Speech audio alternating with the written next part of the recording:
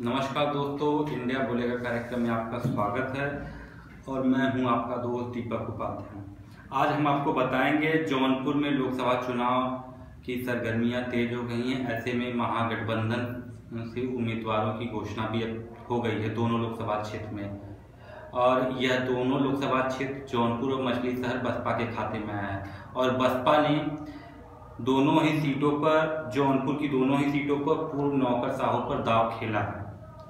यह सेवानिवृत्त होने के बाद लंबे समय से पार्टी व मुखिया के प्रति वफादार बने रहे। जिसका परिणाम यह रहा कि पार्टी सुप्रीमो मायावती ने कैडर को, के लोगों को छोड़कर इन पर विश्वास जताया।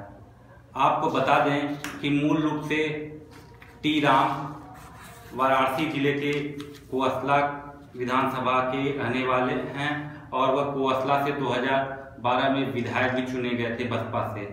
और वर्तमान में कोसला पिंडरा विधानसभा आता है और यह वाराणसी जनपद में है।